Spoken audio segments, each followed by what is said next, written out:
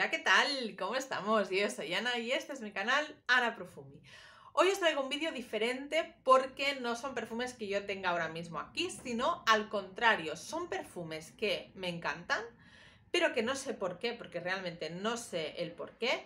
Em, están siempre en la wishlist y nunca, nunca los acabo comprando. Seguro, no sé si os pasa, que tenéis unos perfumes que os gustan y que los queréis comprar, pero que no sabemos por qué motivo siempre van apareciendo unos nuevos que van quedando como eh, arriba de esta lista, ¿no? Y estos se van quedando siempre hacia el final.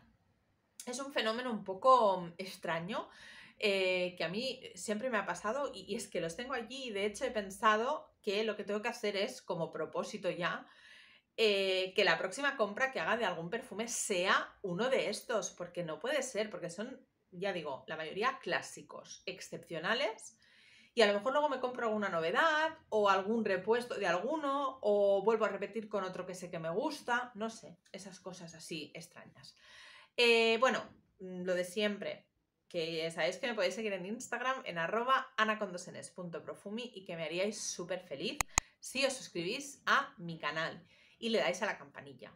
Así que nada, mm, me callo ya, vamos para allá y vamos a ver esta lista de perfumes que no consigo que lleguen a mi colección. Bueno, pues el primer perfumazo es un clásico, clásico, clásico, con todas las letras, de la casa Lancôme, que ahora me diréis, si tú dices que tienes una colección de perfumes y no tienes este perfume, pues sí, yo mm, sí, lo siento, pero sí. Estoy hablando de Poem de Lancôme por favor, un perfumazo de los años 90 que es un floral mmm, espectacular, que me encanta, que cada vez que lo huelo digo, Dios mío, qué cosa más deliciosa. Es un floral vintage, potente, eh, de los noventero, ¿no? De esos que ya no hacen ni se encuentran ni por asomo. Una duración brutal, una estela brutal también, pero nunca llega a mi colección. Yo creo que muchas veces este perfume, que no estoy diciendo que se parezcan, ¿eh? pero digamos que em, es un poco parecido, no en aromas, sino en, pues eso, el hecho de ser un floral, de tener una gran estela, de tener una gran duración, es parecido al amarilla, mi queridísimo amarillo. Entonces, como el amarillo siempre lo tengo en la colección, ¿no? Porque se me termina y siempre este lo repongo al cabo de muy poco tiempo, Em, es un poco de, ostras, no necesito otro floral vintage noventero, ¿no? Porque el amarillo ya te lo pones en cuentagotas. Y es un poco de, ostras, ¿y qué haría yo con un frasco de Poem mm, en la colección? Porque no me lo pondría, ¿no? Y yo creo que es un poco esto lo que me echa para atrás. Pero os voy a decir las notas, porque es, es como amarillo, espectacular.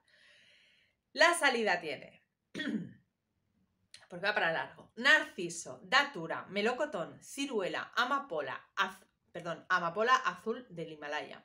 Mandarina, grosellas negras, bergamota y notas verdes. En el corazón tiene mimosa, flor de vainilla, nardos, ylang ylang, flor de azahar de naranjo, jazmín, fresia, heliotropo, rosa y cuero. Y en el fondo tiene vainilla, flor de azahar, ámbar, abatonca, almizcle y cedro mil notas distintas, súper noventero, súper potente y yo mm, no sé por qué, yo creo que es algo, es por lo que os he dicho, ¿no? Es decir, que digo, bueno, si ya tengo el amarillo, este es un poco más de lo mismo. Pero mm, me tendría que hacer con un poem de al menos de 30 mililitros para tenerlo porque es un clásico que todavía no lo han descatalogado, que todavía Lancôme sigue manteniendo, que esto ya es, ya es un qué. Y, eso, y que no llega nunca, no llega nunca y creo que tendría que llegar. Es muy intenso este perfume a pesar de ser floral y yo no sé si esto en primavera lo aguantaría, os lo digo. Pero bueno, nada, que es un floral mmm, con todas las letras. Segundo perfume, otro clásico, donde los haya, es L'Instant de Guerlain. A mí este perfume mmm, me encanta. Es decir, estaría no se parecen en nada, pero eh, estaría en el mismo nivel de Insolence de Guerlain, que lo tengo allí como, como oro en paño, ¿sí? Como una joya.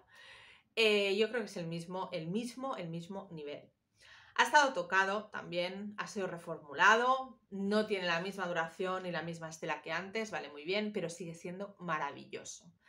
Es un aroma mmm, que pues eso, es decir, no se encuentra ahora en las creaciones nuevas, que siempre es un poco más, más, más, más de lo mismo. L'Instant es un perfume diferente y es un perfume que se tiene que tener muy en cuenta. Creo que es un perfume súper elegante y que eh, tendría que estar también en cualquier de estas colecciones, no las que decimos que coleccionamos aromas o perfumes, debería estar. Y, está en el top 10, ¿eh? es decir, el, el, top 10 de Wishlist siempre está ahí. Pero ya digo, siempre hay otro que se le adelanta o yo qué sé. Pero el Instant está allí desde hace mmm, siglos y siglos. Mirad, el Instant de Guerlain es un ámbar floral del 2003. Las notas de salida son mandarina, manzana roja y bergamota. Las notas corazón, magnolia, iris, ilang ilang y jazmín.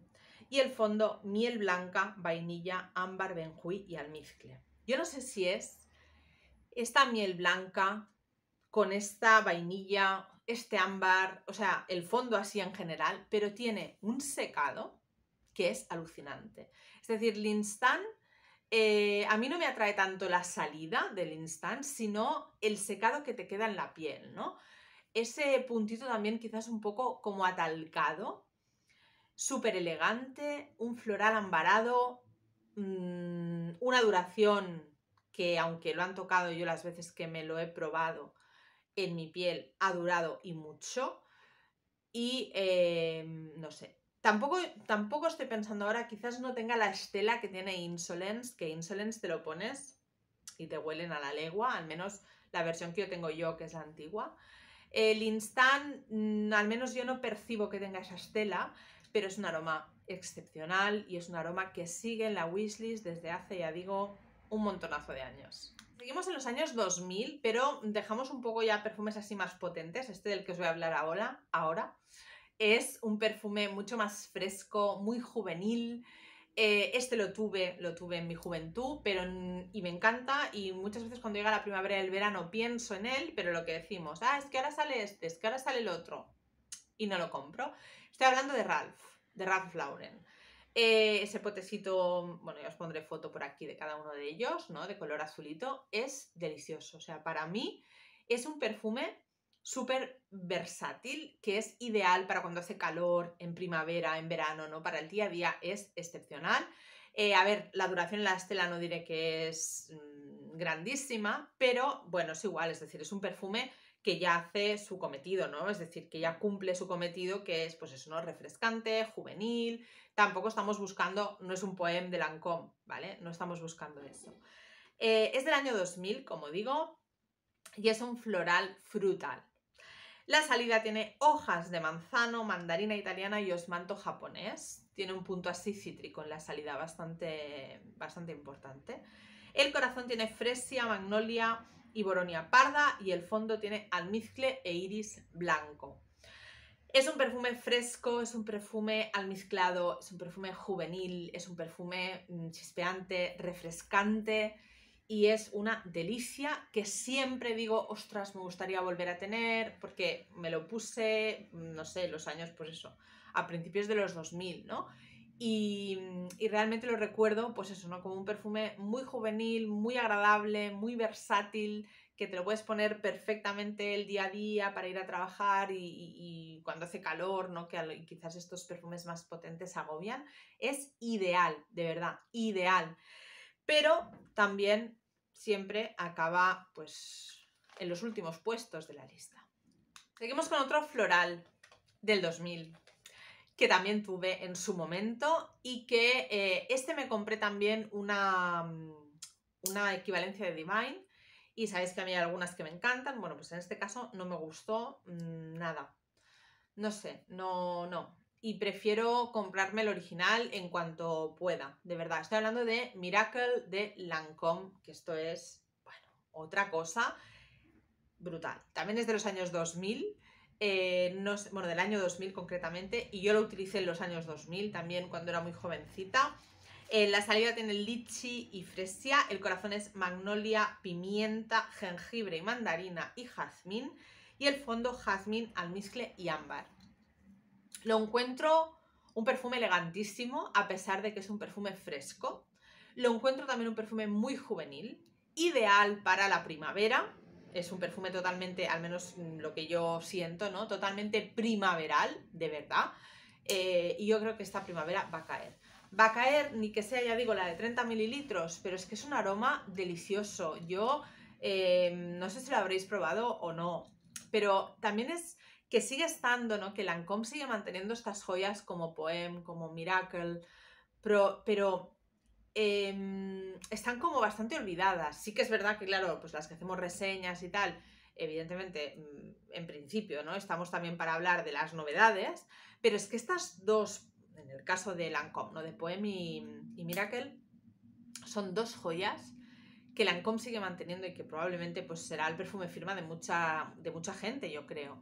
Y es un perfume que es totalmente versátil, es decir, estaría en el top 10 de versátiles de toda la vida.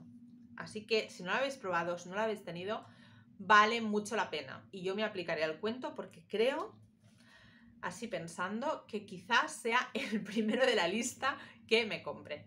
Porque ya más de cara a la primavera, porque realmente mm, es un aroma que es muy, muy, muy bonito. Y por último, el Sweet Vanilla de Montal, que os estoy dando la vara muchas veces. Es que, ay, no sé qué hacer, es que sí, pero no, pero tal. Esta, esta Navidad me lo quería comprar, pero no quería el de 100 mililitros. Eh, me costó la vida buscar uno de 50 mililitros, pero realmente por el precio no me valía la pena. Y al final no me lo compré. Es un perfume que me gusta mucho y a mí me gusta mucho la vainilla, pero me da miedo comprarme eso de, 100, de 100 mililitros porque es que no sé, a pesar de que a mí me gusta mucho la vainilla, no sé yo si lo utilizaría tanto como para comprarme uno de 100 mililitros. Y entonces yo siempre pienso esto, ¿no? Es decir, a ver, es un perfume que no es barato. Eh, vas a hacer este gasto para que te lo puedas poner no sé, a ver, a veces a todas nos gustan mucho los perfumes y tal, sí, muy bien, hasta aquí, pero tenemos que ser un poco prácticos también, ¿no? Es decir, mm, hay cosas, hay más cosas en la vida, a mí me gusta también viajar, eh, tengo que comer cada, cada mes, tengo que pagar las facturas, tengo que hacer muchas cosas, ¿no? Entonces, mm, no sé, a veces... Em, bueno, ¿no? Si lo pongo en una balanza, pues no me compensaba y no me lo compré. Eh, no descarto comprármelo en un futuro porque el aroma me encanta, de verdad, me encanta. Pero mm, además son perfumes que cuesta encontrarlo a buen precio, testers, no todo esto. Pero yo creo que, a ver, esperaré a que la Divina Providencia eh, me brinde alguna, alguna señal o algún tester o algo, porque realmente, no sé, es que me da la impresión de que no me lo pondría lo suficiente y gastarme 120 euros para ponérmelo tres veces al año. Las notas. Las notas son, mm, vamos, vainilla y albaricoque. Y es un perfume del 2015. Delicioso. Mm, estela, muy buena. Duración, muy buena. Eh, pero ya os digo, me pasa con este, con este Sweet Vanilla, me pasa esto. Y por eso yo creo que todavía no ha llegado a mi colección. Bueno, pues nada, hasta aquí el vídeo de hoy. Espero que os haya gustado. Ya me diréis si vosotros también tenéis, que seguro que sí, algunos perfumes que no llegan nunca a vuestra colección, ya sea pues eso, por precio, porque tenéis algunos similares, porque no os acaban de convencer, porque hay algo que...